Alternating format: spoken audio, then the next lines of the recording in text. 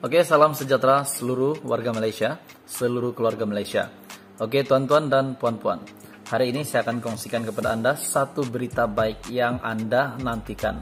Sudah lama Anda nantikan. Beberapa hari lagi, ataupun mungkin lebih kurang dari dua minggu lagi, akan ada pengkreditan bantuan baru kepada semua yang bakal terima bantuan ini. Kepada yang sudah memohon bantuan ini.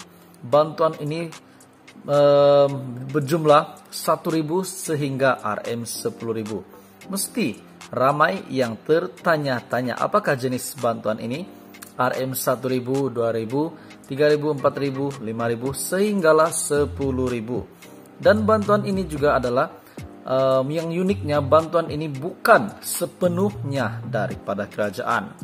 Tapi bantuan ini juga adalah duit rakyat sendiri sebenarnya ramai yang pasti, yang confirm, yang lulus akan dapat bantuan ini. Dan semakan bantuan ini juga boleh dibuat mulai hari ini.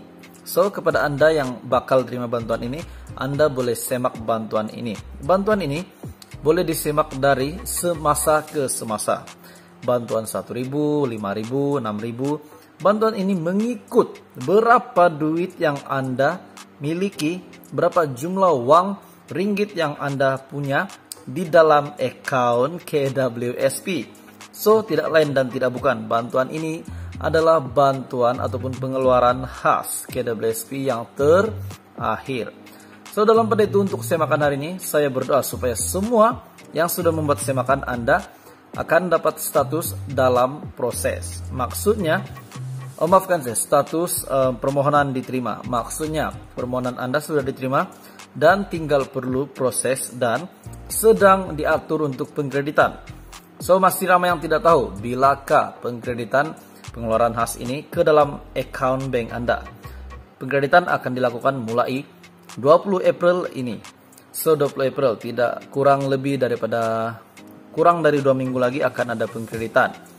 So pada uh, pengetahuan semua 9 April Anda boleh semak dan pengkreditan pada 20 April.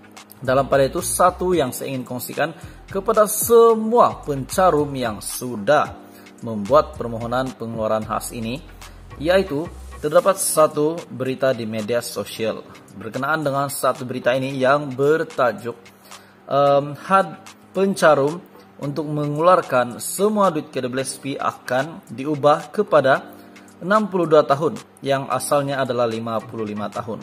So untuk pengetahuan semua, um, berita ini belum lagi dirasmikan, belum lagi disahkan daripada mulut menteri kita, menteri keuangan kita sendiri ataupun perdana menteri kita belum disahkan um, daripada CEO KDBSP juga bahwa 62 tahun adalah umur untuk Anda untuk anda layak untuk mengeluarkan semua duit di dalam KDBSP Anda, baik account 1 ataupun account 2. So di sini adalah perkongsian saya untuk bantuan ataupun pengeluaran khas ini.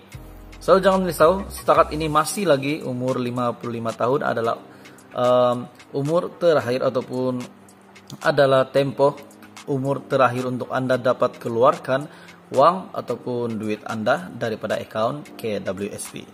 So saya harap Anda sudah semak um, pengeluaran khas ini. Permohonan Anda layak atau tidak untuk bagi yang tidak tahu untuk cara semak permohonan ini anda, anda semua bolehlah lawat laman FB resmi kumpulan uang simpanan pekerja KWSP anda boleh search di Facebook kamu kumpulan uang simpanan pekerja.